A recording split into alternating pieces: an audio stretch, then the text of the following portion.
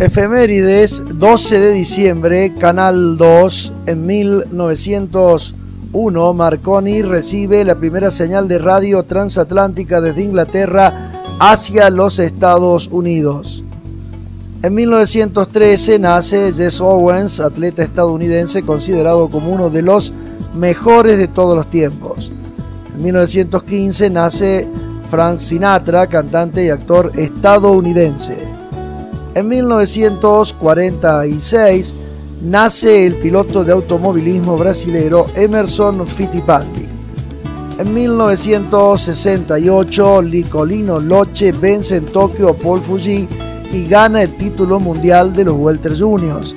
Nicolino Loche es conocido como el intocable. En 1992 los restos de Pablo Neruda y de su compañera Matilde Urrutia son trasladados a la Isla Negra en Chile. En el año 2000 muere la señora Libertad Lamarque, actriz y cantante argentina. En el año 2011 muere Alberto de Mendoza, actor argentino. En el año 2015 en Arabia Saudita pueden votar las mujeres y ser candidatas por primera vez. Se conmemora el Día de la Virgen de Guadalupe, el Día de la Maquinaria Agrícola y el Día de la Cobertura Mundial en Salud. Efemérides 12 de diciembre, Canal 2.